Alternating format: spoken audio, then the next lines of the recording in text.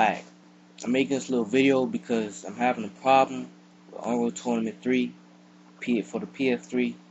You already know that. Yeah, it's also for P PC, whatever. You know. I can't do voice chat. I don't know why. I tried checking the settings. You know, my friend, he tried to help me out because he can do it. I don't know what's up. I don't know if, it, if I have a bad Bluetooth or whatever.